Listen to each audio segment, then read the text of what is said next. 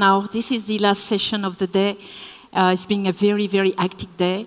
And I'm very pleased to be seated here with uh, Wesley Goatley, that we uh, learn to know each other for those uh, time that we, uh, we spend in uh, preparing this wonderful event here in Milano.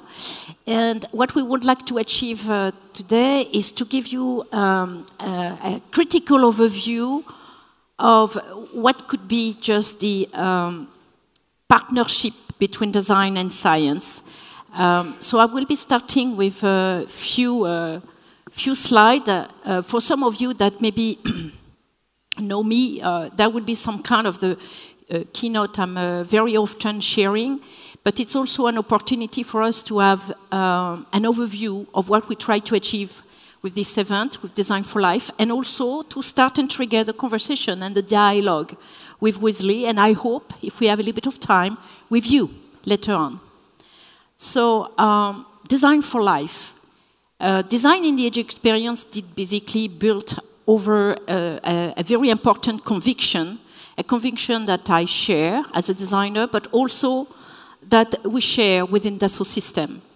And I would like to start as a typical French person with something a little bit philosophical. Uh, for some of you who knows the philosopher Baudrillard, is a French philosopher that have a theory of dis the disappearance or disparition. Uh, and what it is is really about the fact that we are, with the digital turn in, that we can basically locate in around 1980, basically turning to a completely new time the era of simulation. Not simulation as probably we think multiphysics simulation, but on a bigger aim, our world is basically done from an hybridation of virtual and real. So it's basically the end of the production time, the end of the time where we were basically disconnecting design and art uh, to the science and technology. The time where standard was the pinnacle of everything we were doing, and production in mass was just the only way to make profit. Something is changing. So today, we wanted to tackle on the 17 sustainable goals of the ONU. Uh, it's also something that the World Design Organization is uh, taking as a main purpose for design. And this is also a very important transformation the design community is tackling. And we are today with Design for Life basically taking that particular climate change element of air pollution because this is something that makes perfect sense to do. Yet, it's also a wicked problem that we know. It's so complex that nobody really know how to tackle it. So why not designers will be proposing and having some solution for it? So the big question is, can we design for life? This is a quite uh, also a difficult question to ask because it means that can we be gods and design life? Well, that's part of the conversation that uh, people are having with what we know that we're capable of doing. But definitely we know that we cannot live anymore in an unsustainable world. And with the digital turn, can we just continue to go with this era of production or starting to think to design for life? So I was talking earlier about this era of simulation. Our world is uh, basically becoming very much hybrid, and it's based on something that we see and not see, done of very subtle interaction. They are also defining new territories, not territories as we know, the natural ones, you know, the one where we walk and uh, the field, but really territories that are layers of information on the top of our natural grounds. And those territories are completely transforming our reality and perception of reality. So, something that we know for sure, for good or for not good, science is everywhere. And with this, the digital turn, something also happens is science is taking the forefront of any conversation and sometimes to the detriment to the common sense that design provide.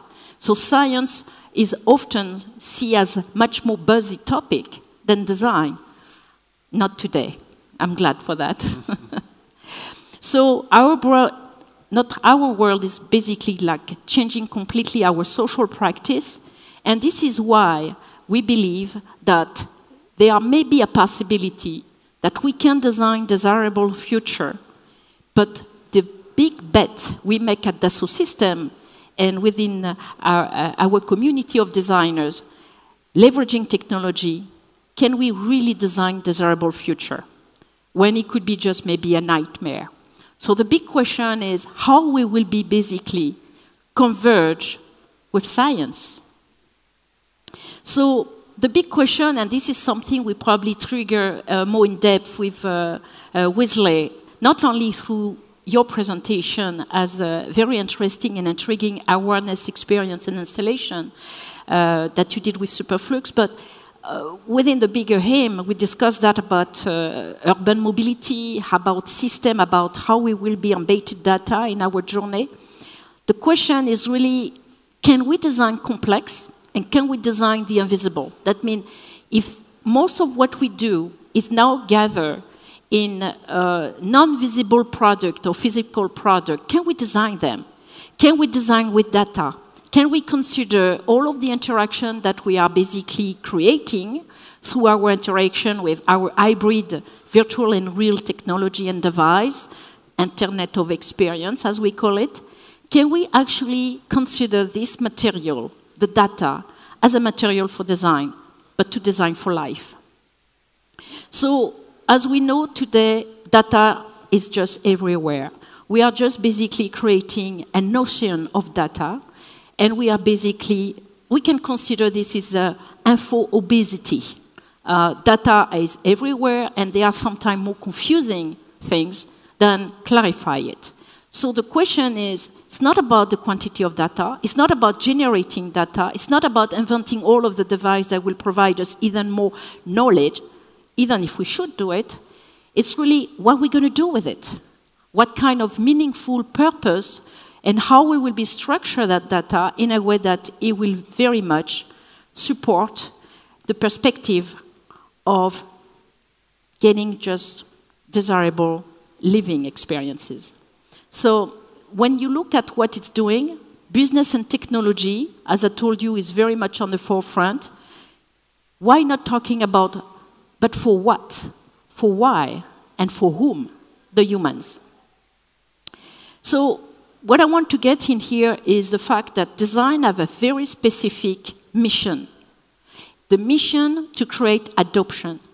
The technology, they are coming up. Technology create technologies. One technology get to another one. By the way, they are very nice uh, topic from uh, Kevin Kelly, who wrote this book, uh, What Technology Wants.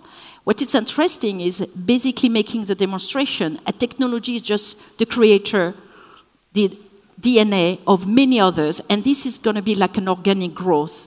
So the question is not just the technology, it's about how we will be feeling comfortable with this technology, how this technology will be meaningful enough for just being accepted in our uh, everyday lives. So, what we need to do when it comes to design for life is to design for systemic and holistic purpose. Nice to say, not easy to do. Typically, one way we wanted to tackle it at Dassault Systèmes is questioning exactly what will be just the right solution for architects, designers, makers, innovators to actually basically do better. Uh, and the first thing is how we can effectively analyze what's going on. I think Carlo Ratti earlier was showing that with the data being a data viz, with the visualization of data, the way those data being basically uh, being placed with each other, it's a good way to analyze, analyze what's going on, but also, beyond the evaluation, you need to basically design strategies. And this is also another way how we will be just leveraging technology to design just new uh, proposition. And to do so, uh, we believe always that we have four main pillars that we want to converge we want to make a convergence of what we know as a disparate element of the physical and the digital. Everything coming from nature, particle, anything that we know are quite fuzzy and difficult to grasp. Like, I don't know, just the function of the brain, uh, how the humans basically interact with this, but also the data, I talk about that. And yes, yes, if we don't have any business logic in the purpose, well, we will be just talking to ourselves because these have to lead to some kind of economical balance. Balance, not growth. So, design for life means designing for meaning. And no meaning, no reason to live. Actually, uh, I remember a digression, it's a little digression, but uh, people always think that uh, uh, we need to go to the notion of we don't need to, to live better, we need to have a reason that is worth living. So, uh, in the age of experience, uh, designers are no more designing product. They are designing experience. Okay, experience within the system means how we basically interact with technology. But it's also about our living experience, how we as humans are basically interacting with the world. And what I believe, and that's what we want to share to you for discussion, that it's probably the era of the new designer.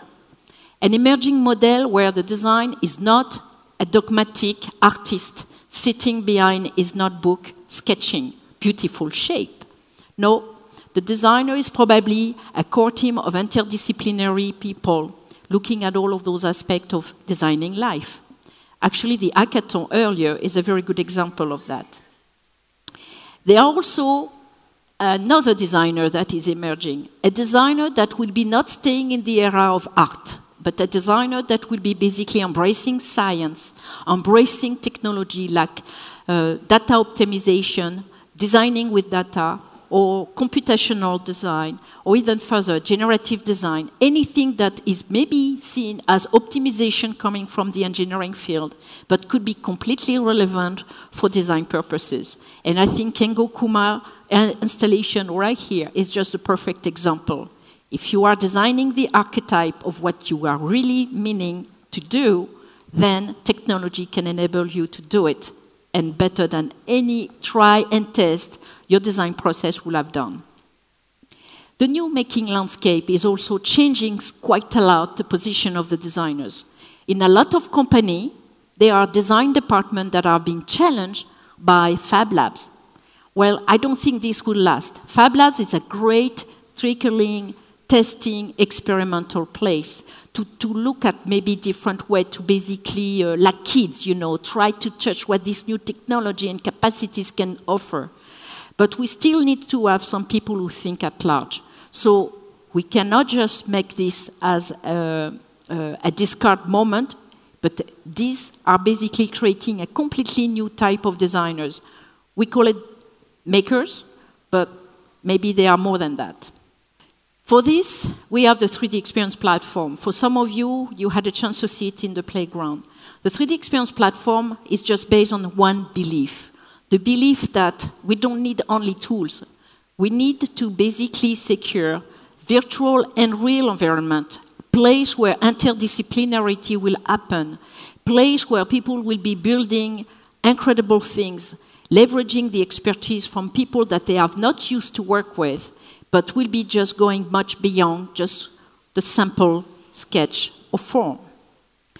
This is what I believe in the digital age the designer is no longer designing the object, but its archetype. It means its structure, what is behind, the invisible. So, uh, designing experience uh, for us is clearly designing centered with the human, but it's also considering the innovation making and having this permanent iteration between the two. But I would like to add two key elements to build up on that. One is to model imaginaries. Um, we have put some intensive research around this idea that if you want to design with the virtual, if you want to create virtual universe that allow you to basically project future setting for design purposes, well, imaginaries are going to be at the heart of it. Why? It's beyond value. It's because it's getting into our reptilian brain. It gets into our strong layering of cultural interaction we have since our early age in life. So, imaginary are absolutely necessary for us to basically create the adoption and play with data. Clearly, this is a material for design. So within Dassault Systèmes, we are imagining a possibility to design with system. So we know that most of what we are doing right now is system of systems. So what we want to imagine is how we can just provide data visualization solution that will basically bridge system engineers and designers to design system of system. What you see, by the way, on the left is a system of system that has been designed for the purpose of just one vehicle on the urban mobility proposition, but taking into account all of the aspects of the experience.